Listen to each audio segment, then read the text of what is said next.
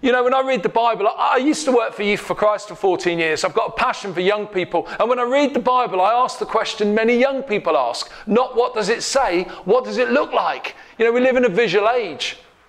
And often I think about scripture, I think when Moses saw the sea split, what did it look like? What if there was a big fish? Did that split too? And how muddy was the ground? I wish I'd known. Or when Lot's wife turns around and becomes a pillar of salt, why salt, not pepper? I've always wondered that. Or, or when Elijah goes up to heaven and there's whirlwinds and there's chariots and there's fire, and all Elisha's left with is a second hand coat. What did it look like for him to walk back down the hill to see 50 prophets waiting to say, uh, can't split a river like Elijah could? Or what about when Jesus is resurrected from the dead? In the Gospel of John, we see that when Jesus is resurrected from the dead, the very first thing he does, he starts folding up dirty washing.